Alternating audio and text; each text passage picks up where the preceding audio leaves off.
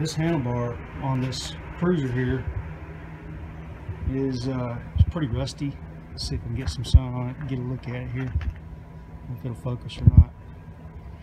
But let's just let's do this. All right, there we go. You can see it's pretty rusty, and uh,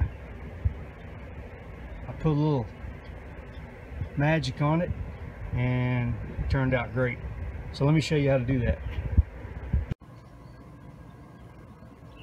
Probably going to work pretty quick. My new battery in that phone gets hot and will shut everything down pretty quick. So what we're using here is 4 aught steel wool. I also use this on glass, like your windshield in your car.